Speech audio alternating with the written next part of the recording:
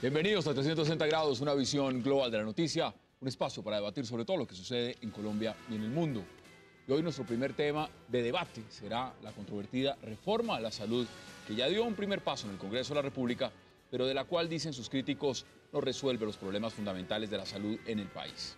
Las comisiones primera de Senado y Cámara le dieron el primer debate al proyecto de ley estatutaria de reforma de ese sector, garantizando el Ministerio de Salud que las EPS no sobrevivirán y que darán paso a unas mejoradas y nuevas gestoras.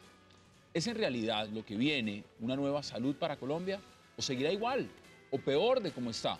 Tema de debate esta noche en 360.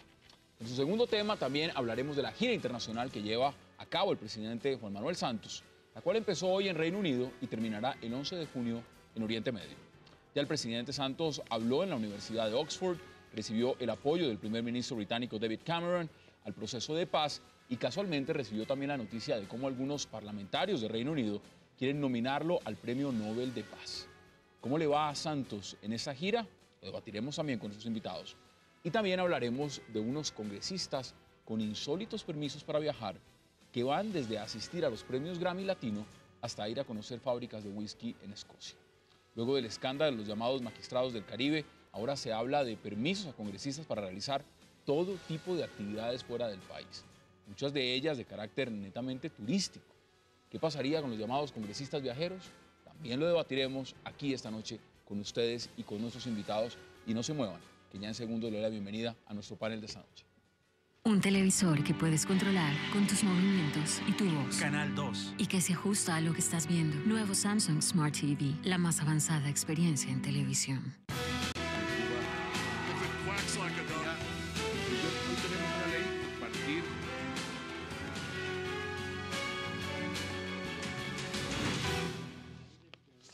Qué gusto darle la bienvenida esta noche a 360 a César Caballero, a Víctor de Currea y a los congresistas Roy Barreras y Germán Navas Talero. Caballeros, de verdad, qué placer y gracias por aceptar esta invitación como siempre. Hassan, buenas noches muchas gracias. Miren, esto del tema de la reforma a la salud, ya no se me preocupe que vamos a hablar también de lo de los viajes. pero lo claro, ampliamos, lo pero ampliamos. por supuesto. Senador, ¿cómo ve lo de la reforma a la salud? Y se lo pregunto en un marco mucho más amplio. ¿Es necesaria esta reforma? ¿Los avances que están dando en este momento en el Congreso, usted los ve favorables? ¿Cómo ve lo que está pasando? Bueno, no solamente es necesaria, es indispensable, fundamental. Es una reforma que debió haberse hecho hace años. La reforma es buena, es positiva, es una prioridad. Yo espero poder entregar esa reforma a la salud a los colombianos. Tiene tres elementos fundamentales que hay que resaltar. El primero, acabar las EPS como los intermediarios que son hoy. El segundo, garantizar de nuevo el rol del Estado central, del gobierno en su responsabilidad frente a la salud, no solamente en el pago, en el pago directo a los hospitales públicos, por ejemplo, sino en lo que los médicos llamamos la estrategia de atención primaria en salud, que fue abandonada durante más de una década y media. Aquello que los ciudadanos conocían como los puestos de salud, los centros de salud, la prevención de la enfermedad, la vacunación, las enfermedades de transmisión sexual, todo tipo de enfermedades prevenibles fueron abandonadas a su suerte en el sistema deforme que ha venido operando en los últimos años. Y un elemento fundamental, definir de una vez por todas a qué tenemos derecho y a qué no. Lo que se ha llamado. POS, que es el plan de beneficios, para que podamos saber cuánto va a costar la salud de los colombianos y para evitar un perverso sistema de recobros que ha hecho que el sistema no funcione, que intermediarios corruptos se queden con la plata de la salud, pero que además no fluyan los recursos. Mire lo que está diciendo el senador Mauricio Espina y amplía, amplía el debate. Y se lo pregunto, Víctor, de una vez. Dice, no podemos permitir que el gobierno se burle de los colombianos garantizando el negocio como está.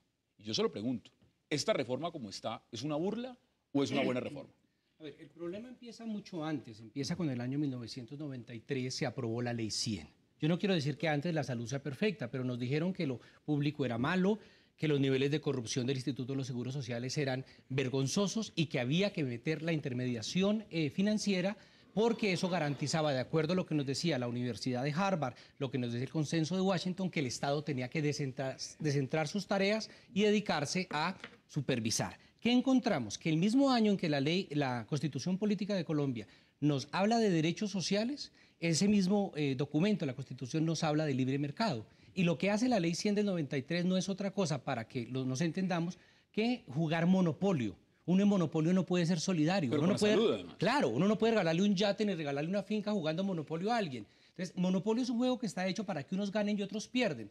Dentro de esa lógica de mercado se puede entender absolutamente todos los problemas. Los problemas de corrupción no son la causa del problema en salud, son una consecuencia porque la ley 100 crea unos parámetros dentro de los cuales el Estado no supervisa, da una gabela a las, a las empresas privadas para que se den cosas como las siguientes. La liberación de precios de medicamentos desde 2006 hasta nuestros días es vergonzoso. Aquí pagamos medicamentos en, en precios irrisorios, eh, perdón, brutales comparados con los irrisorios del mercado internacional. Y lo más importante, creamos unas franjas de mercado. Entonces decimos, estos productos que son baratos se los damos a los pobres y las cosas que son costosas quedan por fuera del plan de salud porque se vuelven parte del negocio. No gratuitamente, todas las EPS, acordémonos, fueron creadas por el capital financiero. Cuando un banco está metido en negocios no es para hacer caridad.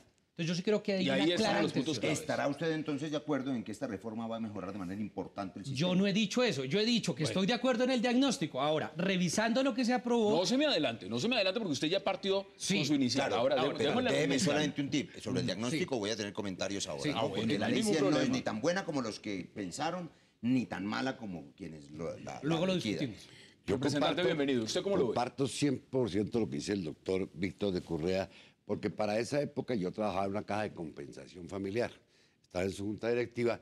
Entonces salieron a vendernos la idea de que había que acabar con las cajas y con el seguro, porque en aquella época, según nos mostraban, el 23% más o menos de lo que pagaba el ciudadano se iba en corrupción y en burocracia. Y nos decían así, ejemplo que nos pusieron una vez. Yo, vea, usted cotiza 100 pesos, de esos 100 pesos, 23 pesos se están perdiendo en corrupción y en burocracia. Obviamente, yo no estaba familiarizado con el tema y sí me aterré. Y es cuando comienzan todos a meterse en el negocio de las EPS. Incluso en la junta directiva donde yo estaba se dijo, hay que montar una EPS que eso nos va a parar la caja. Eso es muy Ah, buen negocio. Bueno, pero, entonces, pero yo les creí la corrupción. Yo lo, he visto, aun cuando no tengo una menor caja del seguro. Estoy hospitalizado dos veces en el Seguro Social en aquella época y yo no era ni parlamentario, casi me, me trataron como a un ser humano. Mire. Le debo mi vida a la clínica San Pedro. Pero déjeme seguirle. Brevemente, porque quiero también que César nos pueda dar su punto. Pues es que cuando me muestran ahora los entendidos en la materia, porque yo soy abogado, no soy médico, por eso no- en el campo médico poco me meto, que la corrupción llega, que el, el trámite, la intermediación le que está costando, de los 100 pesos que da usted, 50 se va entre corrupción y administración. Miren lo que dice el senador Avellaneda César. Dice lo siguiente. El aseguramiento de la salud en manos privadas ha ocasionado la mercantilización del sistema y la burla del derecho a la salud en Colombia. Eso dice el senador Avellaneda, crítico de lo que es la reforma. ¿Cómo ve usted el, el- el proceso? A mí me gusta la reforma. Me parece que el planteamiento inicial del gobierno tenía errores, que yo siento que con la, inter- la intervención que han tenido las juntas de médicos y los académicos y el mismo Congreso la han mejorado. Yo creo que ponen un control a los precios de los medicamentos, como dice Víctor, eso me parece bueno. Segundo, la reforma está diciendo que se prohíbe la integración vertical, que es parte de los problemas que estamos teniendo. Y tercero, la reforma entra a atacar un tema sobre el cual quiero aportar un elemento adicional. Yo creo que nunca antes la sociedad colombiana le había puesto tanta plata a la salud como lo hemos puesto en los últimos años. Se la robaron, doctor. El monto, el monto de robaron. dinero, por el monto, pero espere, termino. El monto de dinero que tenemos nosotros hoy puestos es suficiente para tener una salud mucho mejor de la que tenemos. Y no olvidemos ¿Ustedes están de acuerdo? que hay una figura, yo estoy, digamos, es. eh, de acuerdo que la ley 100, yo creo que Roy ahora lo va a explicar, pero yo creo que la ley 100, de alguna manera, lo que estamos asistiendo es a una cosa que no se le ha querido decir el nombre, pero estamos asistiendo al entierro de la ley 100. No, no diga eso que el doctor Uribe se nos puede enfermar, No, no, por favor. pero- pero es su obra maestra. Pero aquí Pero hay mire- declaraciones del señor ministro de la Salud. Veamos las declaraciones y volvemos a la mesa de debate. Hay una transformación de fondo, no sobreviven, se transforman en otra cosa distinta. No afilian, no recaudan, no van a manejar los recursos, no hay integración vertical, esto es, no pueden ser dueños de clínicas y hospitales y tampoco van a poder negar servicios de manera impune porque van a tener una mu- mucho mejor supervisión y además van a tener que entregarle resultados de salud a la población. Si es de fondo, Hassan, tiene la palabra. a ver, algunas cosas técnicas sobre la reforma para saber de qué estamos hablando. Un primer comentario. Claro, uno no puede decir que el sistema que operaba antes, era la ley 10 de enero 10 del 90, la que regía el sistema, era mejor que lo que teníamos ahora con la ley 100. Solo una cifra. Teníamos en población de hoy quizá 23 millones de colombianos cubiertos. Hoy tenemos más de 42 millones de colombianos cubiertos. Cobertura Claro, más todas las quejas del mundo en calidad y bienvenidas las quejas en calidad.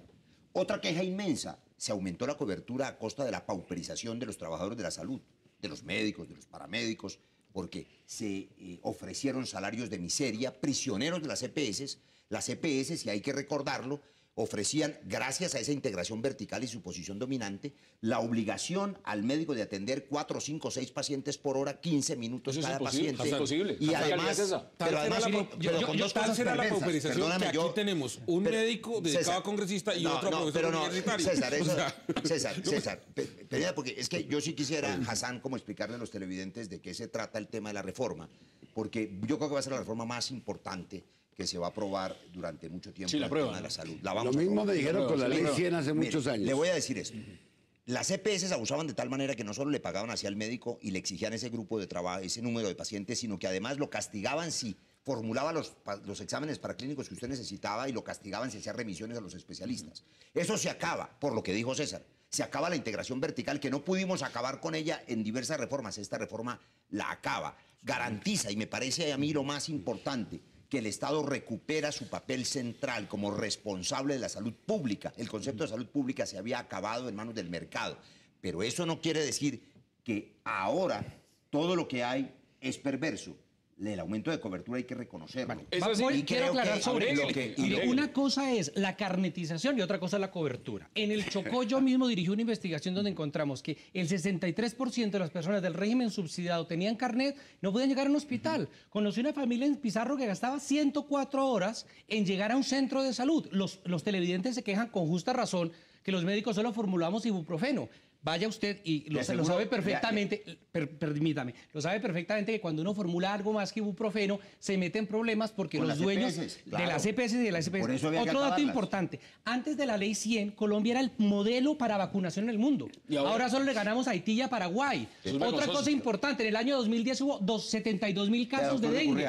Pero, la- perdón, yo termino. Las, pero pues es que usted enfermedades, me las enfermedades tropicales en este país no se ven porque son, no son rentables. Y para terminar, en la crisis de invernal que hubo, nadie daba cuentas de salud, eh, de salud de la atención a las víctimas. ¿Por qué? Porque eso no es rentable y el gobierno No jamás usted- le ha pedido a usted las que también EPS. es médico me está dando la razón a propósito de que lo que se había abandonado era la salud pública, la estrategia de atención primaria en salud. Esta reforma la recupera como responsabilidad del Estado. Solo ese cambio, que estoy seguro que le gusta al doctor Navas, otras cosas no le deben gustar, solo ese cambio justifica la reforma. El Estado se volvió irresponsable frente a la salud y la entregó en manos del mercado. mire. Acabar con eso ya es Usted me necesario. ha hecho una alusión y le voy a contestar. Yo no creo en la reforma que se aprobó ayer. No creo. Yo creo que Antonia le pusieron el alias de Toña y le cambian de gestora. Se llamaba EPS antes. O sea, las EPS, en su opinión, no desaparecen. No ¿Se quedan? desaparece. ¿Se quedan? Y esa fue la pelea anoche. Esa fue- Si no tuvieran ningún interés económico, ¿por qué defienden la figura de las gestoras cuando los entendidos en la materia proponían otro caso, otras soluciones? Y ahí estaban los, creo- dueños de- pero- los dueños- doctor, perdóneme. Usted, claro, usted es médico, contando lo que yo viví anoche. Ahora, lo que viví anoche. cuente lo que he vivido estos dos Es- años es con los entendidos en la más, materia. Vi algo que me fastidió, doctor, para ser sincero, que personas que vos Populus, se sabe, que tienen intereses en las EPS, estaban votando. Que han financiado las campañas, además. Claro, han estado, ya si estaba. han declarado impedimento, es otra la cosa. Una- una- yo ahí César, creo que hay que decir pero- dos cosas. Uno, creo que con todo eso que dice el doctor Navas, yo creo que romper la integración vertical es un paso muy importante que creo que nadie puede discutir. Y lo segundo, yo creo Bueno, que, eh, representante Navas, los representantes que ayer votaron y que tengan interés, hay que denunciarlos. No, Eso hay que gracias a decirlo. Dios. Vea, Pero Pero hay una debate. cosa clara, el Vea, problema la inte- de la integración vertical no es el único, que aún No, un Estado no, le pero- diga, perdón, pero, perdón pero, César, espera, espera, No, no, que no, aún pero no que el es mejor Estado- no tener Vale, la- Estamos pero la resolviendo pregunta- ese la- la problema, hay otros problemas. No, perdón, hay una Pero ley estatutaria En este momento el mayor problema es que tengo que ir a la pausa. Inmediatamente volvemos. Vamos a la pausa y ya regresamos.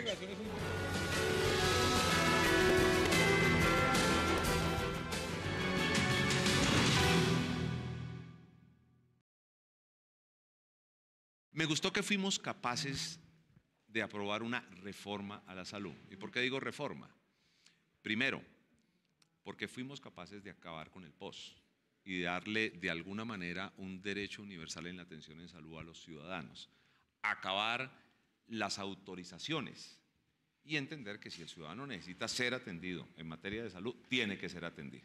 un elemento muy clave que de pronto la gente en medio del debate no captó, y es que la salud ya no es simplemente un derecho fundamental, sino derecho fundamental autónomo.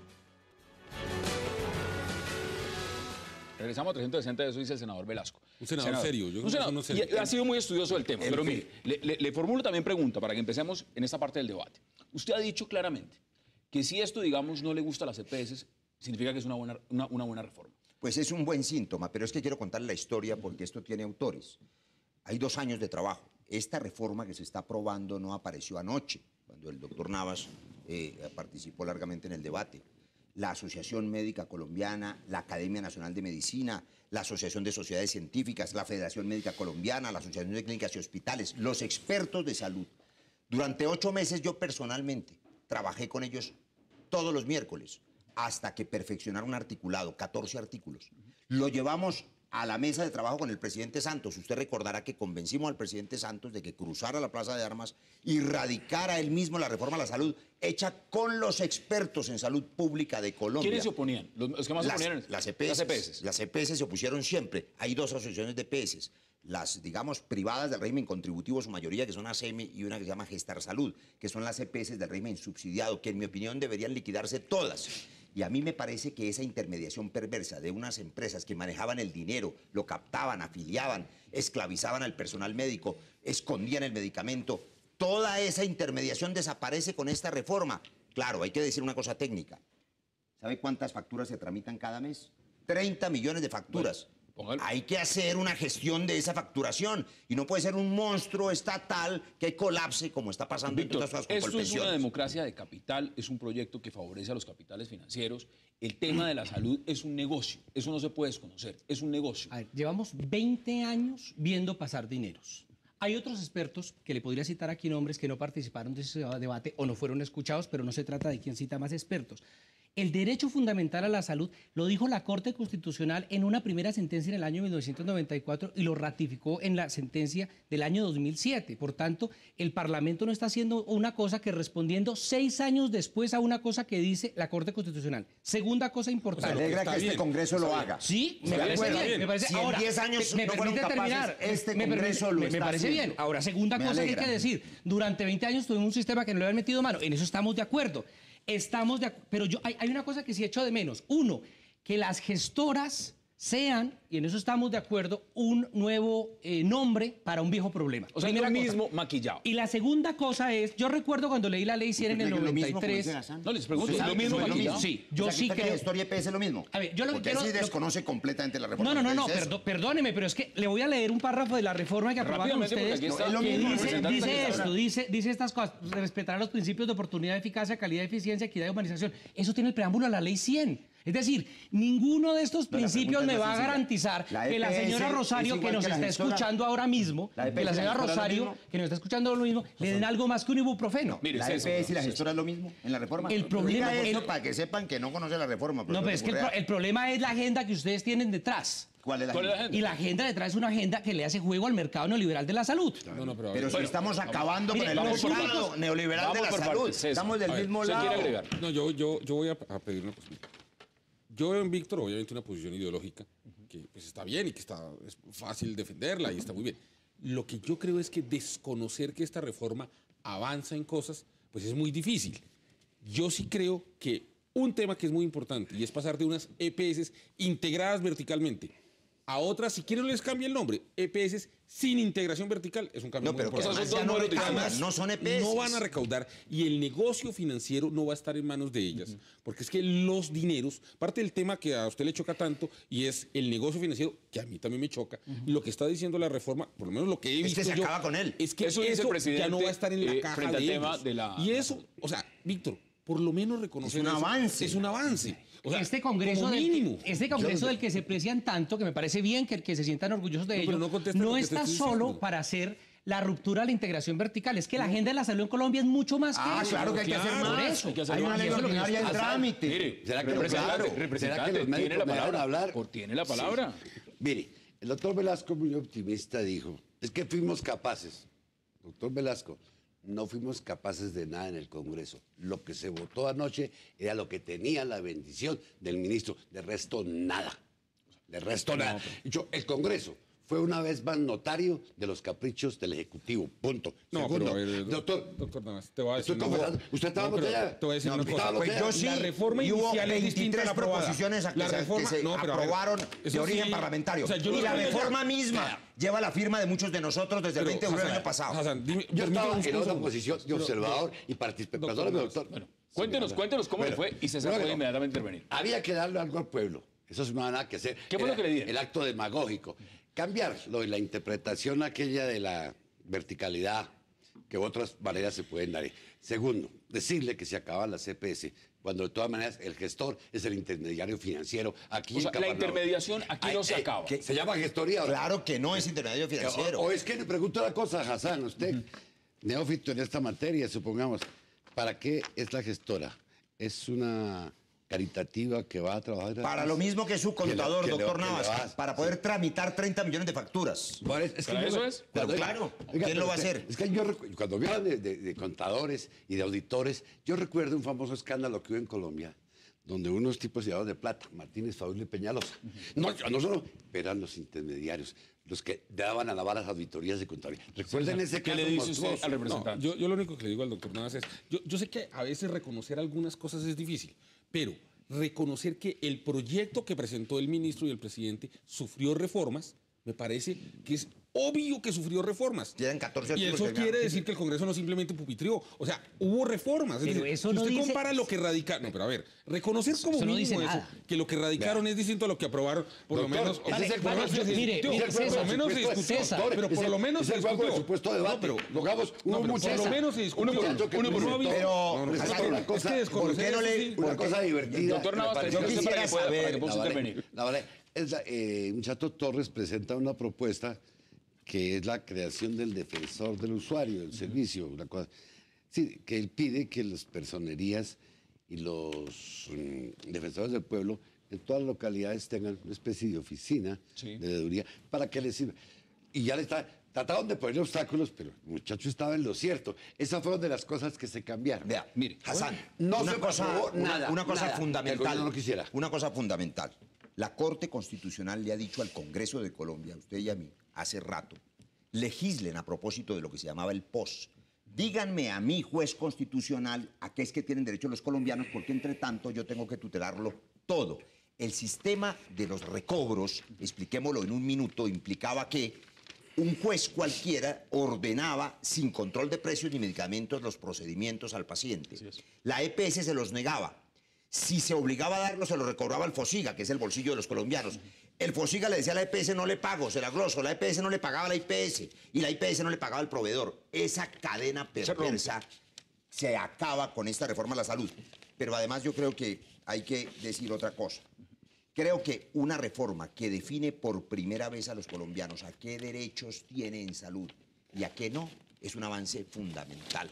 Vuelvo- no solamente es el tema de la integración Vuelvo vertical. a lo que dice uno de los críticos de la reforma y vuelvo otra vez al senador Mauricio Espina. Mire lo que dice el senador. Señor Mauricio Espina, el eh, doctor Navas, o sea, lo que dice el no, no, Polo no, Democrático. No, no, no. Eh, eh, sí, usted, usted en esa medida una lo plantea. ideológica, ¿no? Lo, lo plantea. Porque yo quiero preguntarle desde el punto de vista ideológico, eh, ya está claro que no les gusta esta reforma, a pesar de lo que ha dicho César y a pesar de que evidentemente es un avance y que tiene todo el cuerpo médico comprometido. Pero la pregunta es, si no les gusta esta reforma, ¿cuál les gusta? Yo tengo la respuesta, la estatización total. Eso se lo iba La preguntar, porque mire, el tema no el funciona. tema- El tema, es este. Entonces, Víctor, hay a ver, varias- hay cosas. Primero, Mire lo que dice y me contesta. Oiga, dice, pero es que me- dudo en afirmar que está demostrada la incapacidad del gobierno de cambiar la estructura del modelo. O sea, en el fondo, lo que se preguntan es si cambia la estructura del modelo o si el modelo sencillamente sigue igual y lo que se modifica son sencillamente algunas variables. Cambia pero la estructura sigue la misma. Permítame responder. Uno, resolver, dice, acusándolo al otro ideológico me parece un argumento bastante simplón que por ahí no es el debate. Además, tampoco creo que todo el cuerpo médico esté de acuerdo con la reforma en que ustedes lo plantearon, aunque sí con el diagnóstico. Tres, no modifica para nada la estructura central del modelo de salud. Hay que decirle a los colombianos que salvo República Dominicana, eh, eh, Chile y Colombia son los únicos países en América Latina con EPS. Suecia no tiene EPS, Cuba no tiene EPS, Tailandia no tiene EPS. Dejen de hacernos creer que la vida sin EPS no es posible, que es el gran mito que nos han vendido. Y yo te propongo una cosa, Hassan, porque aquí me están diciendo pues que vamos a hacer la maravilla. Repitamos este debate en un año. Con las mismas No, pues personas. invitados están. y en un están. año vamos a Me ver los resultados y me están. parece que ahí vamos a parece una serie de cosas que nos van a, a sacar del problema. Caso. Y lo que temo, y termino con esto, lo que temo es que en un año vamos a ver reglamentaciones de esta ley estatutaria llena de figuras que abundan en la ley 100 como la siguiente. Costo, efectividad, disponibilidad de recursos y equilibrio financiero. ¿Cómo le parece a usted un elemento que no puedo dejar pasar por alto, César? Y es que en este momento ya se había hasta pensado que se pudiera reportar en Datacrédito a quienes estaban en mora en salud. A ese nivel se había llegado con el tema de la salud en Colombia. Dentro de lo que significa el Congreso, porque eso es un, congre- un Congreso que ya termina su ciclo dentro de poco y entra un nuevo Congreso. Pues no me refiero a un nuevo año. periodo, un nuevo periodo. Este Congreso, como usted lo ve, tiene la disposición, tiene el capital y tiene todo lo demás para aprobar esta reforma. Además, una reforma que es necesaria, como lo plantean ustedes mismos. Arrancando, aceptándole a Víctor eh, el caso de la invitación de venir a ver qué Anot- pasó. ah, ya está la fecha anotada, 6 de Segundo, junio. segundo, yo creo que el Congreso tiene la responsabilidad de tramitarla. Es decir, yo lo que creo es que el país no puede seguir. Es decir, lo que no podemos seguir es con lo que tenemos. Estoy de acuerdo con que uno podría tener algo peor y ojalá que no sea peor. Pero creo que cosas de las que se están aprobando tampoco nos van a llevar al ideal, pero sí nos están llevando por un buen camino. ¿Qué creo yo? Que el país... 15 no- segundos. el país se merece tener una reforma que rompa la estructura vertical de las EPS y se convierta en un sistema distinto y yo creo que es un paso adelante. Segundo, que haya control a los precios de los medicamentos me parece muy oportuno. Claro. Bueno, Tercero, que haya toda una medida para preservar una cosa importante, que es el volumen de aseguramiento que tienen los colombianos y que haya una serie de información y de trámite de gestión que es importante tener. Y cuarto, volver a invertir de manera muy fuerte en la prevención en salud, Me quedan en el saneamiento 20 básico. segundos. 20. Yo sé que es difícil, pero en 20 segundos demos conclusiones de ese tema. Algo que me, entonces sospecho hoy, personas entendidas en derecho constitucional me dicen, mire, aquí hay un articulito que le pone traba a la tutela. Y es uno donde dice que cuando haya diferencias entre conceptuales, va a un tribunal. Y ese tribunal, lo que diga ese tribunal, es inapelable. Sí, ahí, dicen los constitucionalistas, mire, le están poniendo una traba a la tutela porque ya dicen, ya usted no tiene que ir a la tutela, usted acuda a este tribunal, médico, científico, y ahí le paramos todo. Obviamente se va a tener que romper ese nudo gordiano, pero ya comenzaron con los disparos y no olvide que viene otra detrás de esta que tiene que ver con el gasto fiscal. Es que esto no, esto no fue invento de nadie, esto es eh, la política neoliberal que habla el doctor, el negocio. Pero Ahí están todas las posiciones. Cuidado. Tenemos que ir a la pausa. cuidado. Tenemos que ir a la pausa porque hay dos temas más y cuando regresemos Pero vamos a hablar también de la gira del presidente Santos. Cuando volvamos después de la pausa, demos conclusiones.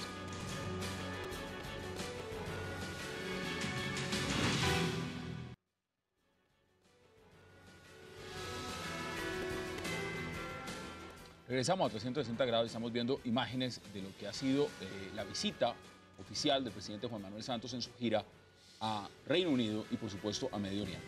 Ya vamos a entrar sobre ese tema.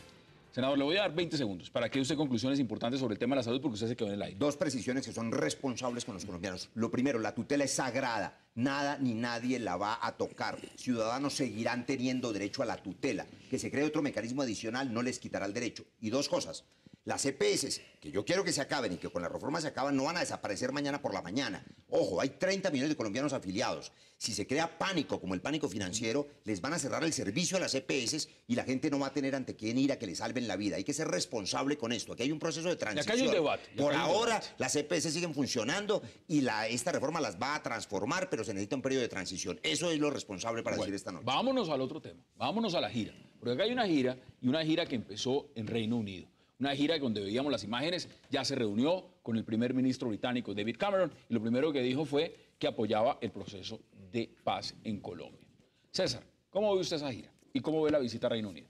Mire, a mí en, en esencia me parece que el gobierno Santos ha tenido una agenda internacional que busca ser más diversa, no depender solo del poder, digamos, de los Estados Unidos. Y segundo, tratar de poner en la agenda temas distintos a los que siempre nos imponían a nosotros, que era el tema de narcotráfico y el tema de responder por temas de derechos humanos, que desafortunadamente aquí el Estado colombiano es responsable. Pero digamos que yo creo que la, digamos, creo que la agenda es distinta. Segundo, creo que el presidente ha venido logrando en el tema de paz unos apoyos internacionales que son importantes. Pero la gira, es para eso, la gira es para eso, es para buscar apoyo in- internacional sobre un proceso. yo creo- ¿O es una gira donde se va a hablar de comercio, de apertura, de otros Pero- temas pero para la balanza? Yo, yo creo que el presidente Santos está buscando apoyo internacional para el proceso de paz y a mí eso me parece loable e importante.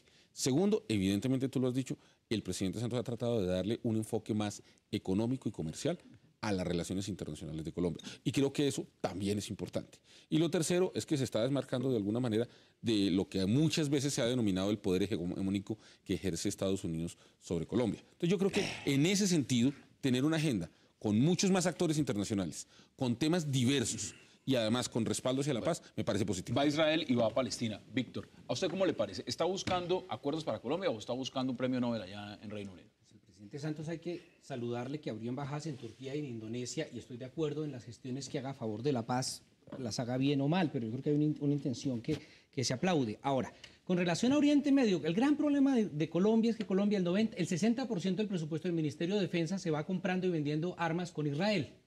Por tanto, a pesar de que en el Consejo de Seguridad, las cinco veces que Colombia, si revisamos todas las declaraciones de Colombia ante el Consejo de Seguridad, las cinco veces que ha sido miembro no permanente, en todas ha dicho Israel es, es ocupante, no a los asentamientos, sí a los refugiados, sálganse de Jerusalén del Este, todo eso en la práctica política es totalmente No esquizofrénica. reconoció el Estado, no, se abstuvo. Por ejemplo, Se abstuvo. entonces, el problema es que a pesar de esos intentos, termina cediendo a lo que diga Tel Aviv o a lo que diga Washington en política internacional. La política exterior nuestra sigue Entonces atada. no ha salido y en el caso hegemonía. Y en el caso de Israel particularmente, es vergonzoso que el único país de Sudamérica que no ha aceptado el reconocimiento del Estado palestino es Colombia y muchas otras Es más grave aún que se haya tomado esa decisión mientras Colombia podía estar, digamos, en el Consejo de Seguridad, Claro. donde se representan no solamente intereses de- Nacionales, sino sino regionales, sino regionales, sin duda. ¿Cómo lo ve usted? Lo primero es que el gobierno del presidente Santos ha transformado las relaciones internacionales del país, ha abierto el país a otros canales de comunicación, es un gobierno multilateral y no un gobierno derivado de una sola o dos relaciones, no es un gobierno aislado. Lo segundo es que, claro, se ha dicho aquí, está buscando apoyos para la paz, los ha logrado. La paz es importante para Colombia y también para la región. Avanzamos en ella, ¿Y el Nobel? perseveramos en ella. Pero además hay otro tema que no se ha mencionado aquí y que sé que lo está tratando en Londres como lo ha tratado en sus últimos viajes, la descriminalización de las drogas en el mundo. Aquí tienen que reconocerle a Juan Manuel Santos, que es el único presidente en ejercicio, porque hay presidentes que se han atrevido, que fue capaz de plantearle al mundo el debate injusto sobre las drogas. Colombia es víctima del narcotráfico y es víctima de un crimen inventado. La prohibición es el crimen. Yo estoy seguro que ese delito inventado en otras naciones, con consumidores de otras naciones, donde nosotros ponemos los muertos, solo se resolverá con el debate internacional de la descriminalización o despenalización de las drogas. Es valiente Santos cuando lo En propone. esa propuesta. Ahora, ¿cómo lo ve usted, congresista? usted sabe y a usted le consta acá que a pesar de ser de oposición, el polo democrático acompaña, y aquí lo vio usted en el debate, que acompaña a Santos en su propuesta de paz. Todo lo que haga por la, cas- por la paz, nosotros lo vamos a acompañar. No vamos a hacer lo que hacen los uribistas de atacar la paz para tirarse a Santos. No exactamente eso. Y aquí lo vi en debates con usted, usted los invitó, donde los connotados uribistas están ahí. Me encanta que el doctor Roy ya no me diga todas las flores que me decía Uribe, sino ahora que se las traslade a Santos. Está bien. Pero la política es dinámica. Somos la partido de gobierno, doctor Navarro. la política es fue con dinámica. Samuel Moreno en Bogotá. No, falso. El polo, pues. Ah, Su partido, ¿no? Usted no podrá decir que Germán Usted es del polo, ¿no es jamás, cierto?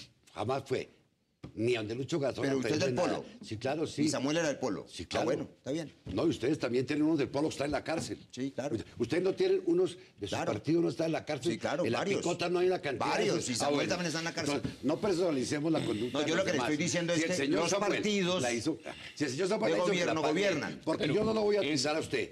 de, de paraco, lo que sea, porque muchos de sus partidos están allá. Claro, de acuerdo, Estoy me a usted. Yo voy a regresar a usted, pero como usted me echa piedra, yo le mando un ladrillo. Pero mire, aquí Con ese construimos Pero- casas. pero- como las casas, mil que estamos casas, construyendo. Mire, yo quiero una cosa. Quiero que efectivamente su misión sea. le gusta la gira? La de hablar de.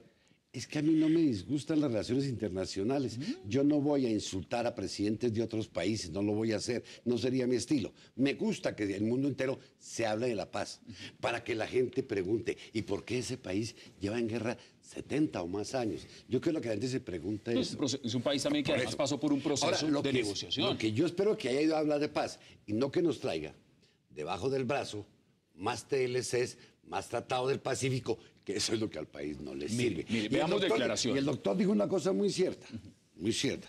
¿Por qué le han voltado la espalda a Palestina? ¿Cuál es la razón? ¿Por qué no han apoyado. Ahí lo plantea con el tema de Israel, los ¿Por acuerdos qué- militares. por, Pero mire, ¿Por qué no apoyan el caso del Saharaui, que es un crimen ya me va a hablar usted de ese tema miserable. fundamental que estuvo allá de visita, pero veamos qué dijo el presidente Juan Manuel Santos justamente desde Londres. Tuvimos una conversación eh, muy constructiva, muy amigable. Ratificamos que el Reino Unido y Colombia tienen tal vez eh, eh, las mejores relaciones en su historia en este momento.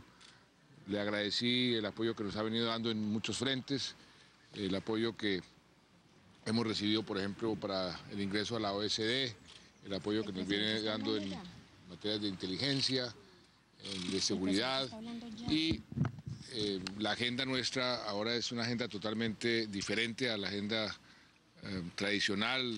Hablamos de la ciencia y tecnología, la educación, eh, la infraestructura, los temas del desarrollo.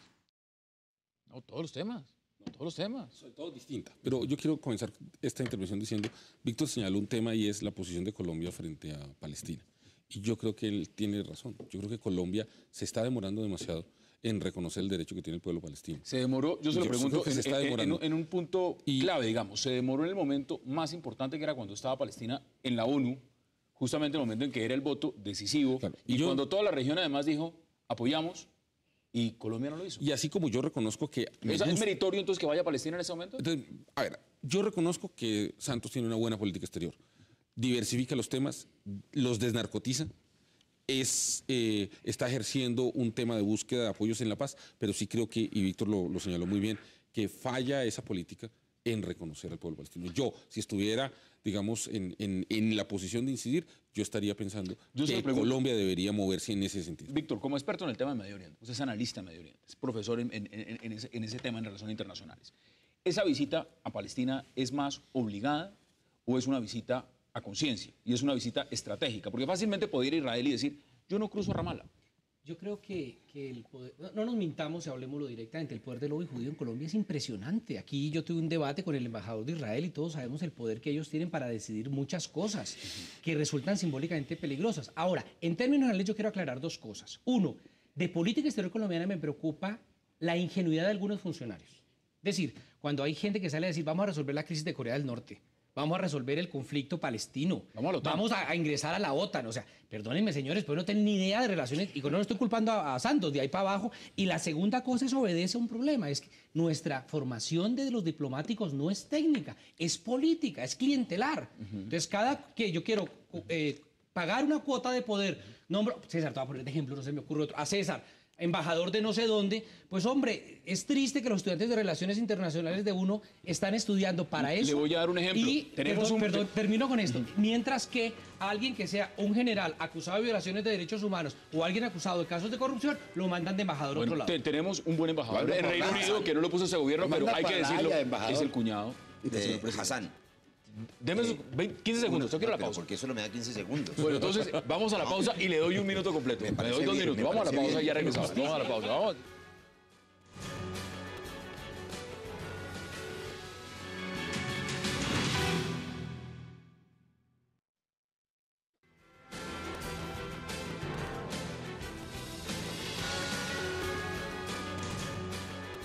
Regresamos a 360 y volvemos a ver las imágenes con David Cameron, el primer ministro de Reino Unido. Tiene la palabra, senador. La gira, Londres, luego Israel y Palestina. Hablemos del tema de Medio Oriente. La gente tiene derecho a saber lo que uno piensa para saber desde qué orilla opina. Claro. Yo soy partidario del reconocimiento del Estado palestino. Me parece un pueblo que ha sufrido durante siglos y creo que Colombia tiene que dar ese paso. Pero ojo con el lenguaje, porque cuando dice el doctor de Currea que es profesor en esas materias, yo no lo soy. El lobby judío, ojo con el antisemitismo. Yo acabo de venir de Auschwitz. Ojo, ojo. Yo creo que la gente tiene que revisar. Si usted la ha revisado, la trilogía de Primo Levi, usted tiene que saber lo que eh, pasó en el cementerio de Praga. Ojo con el antisemitismo. El lobby judío es una cosa distinta al Estado de Israel.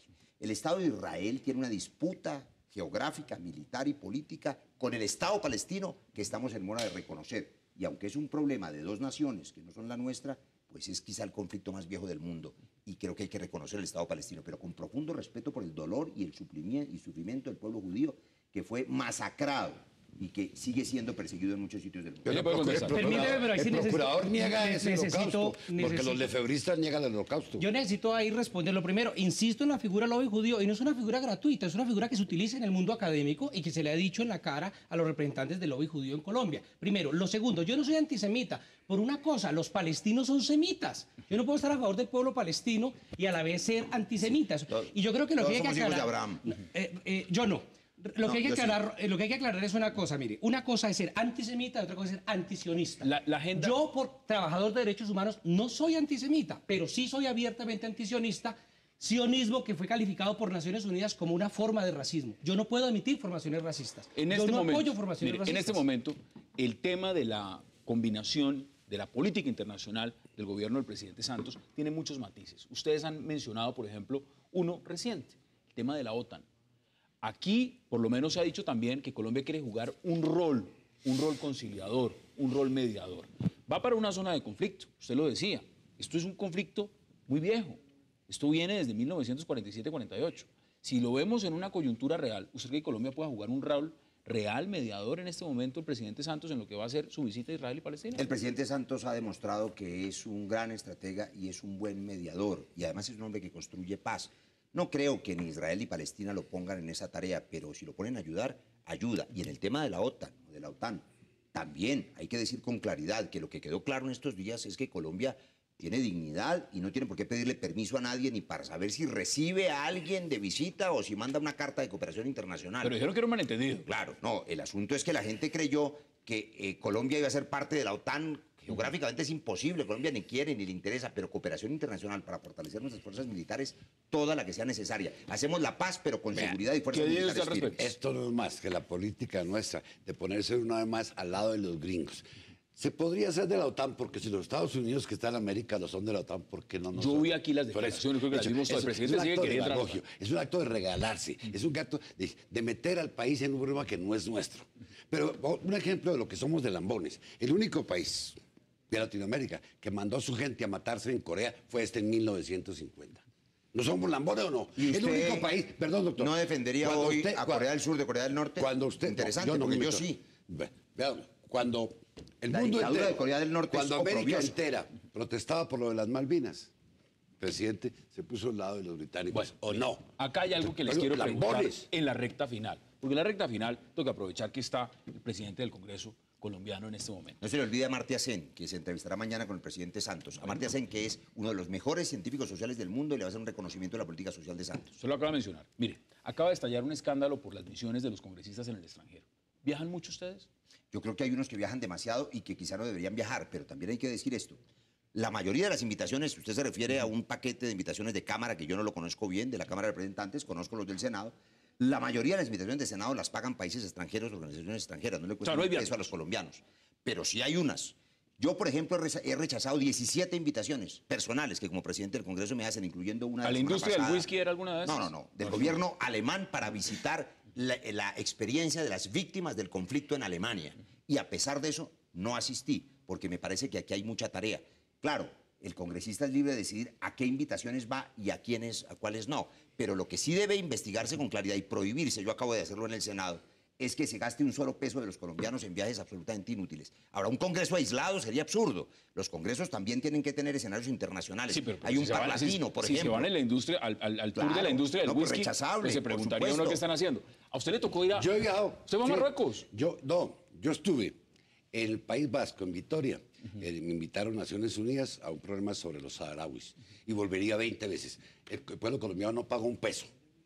Fui a la Universidad de Salamanca a dictar una conferencia. Volvería. El pueblo no pagó un peso. Invitado, está bien, como la mayoría de los de como esa la mayoría. lista. Como la Estuve en el mayoría de esa Saharaui, lista. Como miembro de la Comisión de Derechos Humanos, como amigo de la libertad de los pueblos oprimidos, estuve en el Saharaui dos veces. Y era una invitación. Pero no, el gobierno no ha pagado un solo peso. Así tiene que ser. ¿No es cierto que juntan vacaciones? Así son la mayoría. Así son La gran mayoría, pero hay excepciones. Claro, y las excepciones son absolutamente repugnables. Es decir, que la gente se vaya a hacer nada, o a los ejemplos que usted yo no los conozco, ha mencionado, pues es tachable. Pero las invitaciones que el senador, el representante Navas ha dicho son absolutamente válidas. Tiene que salir al mundo a conocer lo que pasa y a hacer afinidad ideológica. Mire lo que está diciendo el presidente de la Cámara, Augusto mire, Posada. Mire, yo algunos se han ido a cumplir misiones York, laborales, de la paz, dedicando también tiempo vacacional. Sí, mire, yo en esto creo lo siguiente.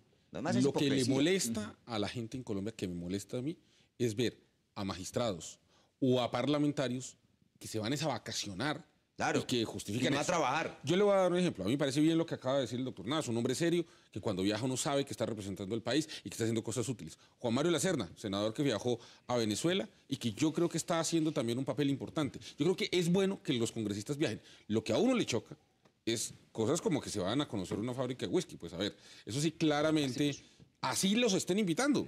Peor. Es decir, las vacaciones que las paguen de su bolsillo. A mí me gusta viajar, pero cada vez que yo viajo y voy de vacaciones lo pago en mi No, pero bolsillo. lo paga usted. Víctor, Cuando para que vivía- concluyamos cua- sobre ese tema también. Cuando vivía en Suecia me pareció una cosa muy bonita de una senadora, una, par- una miembro del Parlamento que compró, miembro del Parlamento que compró una barra de Toblerone de chocolates, que no vale nada, utilizando la tarjeta de crédito de parlamentaria. Le costó el puesto. Pues claro. Porque en ese país decente. Aquí no hay Pe- Perdón. de crédito no, no, no, no, ¿no? pero permítame, permítame. No la vayan a proponer. No la van a proponer. No la vayan a proponer porque no, no, de Entonces yo, no, no, yo lo que estoy Aquí no diciendo, hay eso. no, yo lo que estoy diciendo es en un país decente que no es Colombia. No, En Colombia sí de- es un país no, decente. Colombia no es Y un la país- mayoría de Permí- Permítame hablar. No, pero no permítame a hablar. Colombia, No, no, yo no un tengo país ningún problema en decir en 30 un segundos. país Un país decente uno no puede que no es Colombia, eh, eh, Digo, que es no un es país Colombia. Lo digo y lo repito. Que No no es Colombia. Colombia. No se dan No los atropellos Colombia. que se dan donde uno ve parlamentarios o que no tienen para tanquear un carro, aunque ganen la plata que ganen, pero la gente sigue peleando para que le den un ibuprofeno de más, juntando los dos temas. Entonces el problema es, ¿por qué no podemos tratar a los parlamentarios colombianos como se tratan en Suecia o en Dinamarca, que son otro hijo de vecino que tiene la Víctor, misma Tiene responsabilidad? usted aquí al lado al presidente del Por eso se lo estoy diciendo. Es la cabeza del organismo. Por eso se lo estoy diciendo. Yo creo que sí es necesario revisar las pensiones, los salarios, los viáticos, las garantías, los Le- sistemas le judiciales tengo- de los tengo- parlamentarios. Tengo noticias sobre esas cosas para que no haga demagogia. No, yo no estoy El demagogia. Yo estoy Colombia, diciendo no, lo que hablar, pero hablar. hablar. Me Pues ya demagogo. Déjeme No hablar. me acuse de demagogo. Sí, pues que esto es demagogo. No, no quiero decir esto. Usted está diciendo que hay que revisar el tema pensional. El representante Navas, que tiene más experiencia que yo, porque lleva más tiempo en el Congreso, yo este es mi primer periodo como senador y tuvieron en la Cámara, sabe que el Congreso de Colombia, en un acto legislativo que en buena hora la Corte Constitucional acaba de avalar, le cerró la puerta a esas pensiones exageradas e ignominiosas. Lo hizo no este Congreso, Sí, sino mire, de hace 10 me parece años. una cosa, doctor. Se nos acabó el tiempo. Anteriormente los viáticos eh, formaban parte de... Y ya no. de- Ya no. Y los tiquetes que les usted en daban 20 forma segundos. 20 segundos. se El Congreso ha mejorado, el Congreso ha mejorado. Sobre este tema, sobre lo que tiene que ver los viajes. En lo que atañe a mí, si soy invitado a representar a Colombia en cuestiones de derechos humanos que me interesen y no le cueste un peso al gobierno colombiano, volveré. Usted es un hombre juicioso. Hace 10 bien en ir. Mire, yo siempre creo que es más fácil hablar de las cosas malas que de las cosas buenas. Pero yo veo que en esta sociedad, en la sociedad colombiana, por ejemplo, el Congreso, que un poco lo que dice Víctor es qué bueno que haya parlamentarios que respondan ante la ley. Él coloca un ejemplo. Yo le voy a decir una cosa. Hay más de 70 parlamentarios uribistas que terminaron en la cárcel porque respondieron. Y- a mí eso me parece que Y está sin bien. juez de apelación, de pasta, Señores, el único y tenemos que irnos. mundo, ¿no? O sea, Representante, tampoco hay que gracias decir que nada pasa. Que hay cosas que pasan César buenas. Caballero, como siempre, gracias. Senador Roy Barreras, gracias por aceptar la invitación. Y Víctor de Currea, gracias también. Ustedes gracias por acompañarnos. Nos vemos mañana de nuevo a la misma hora para seguir debatiendo toda la agenda política de Colombia y del mundo. Hasta una próxima oportunidad.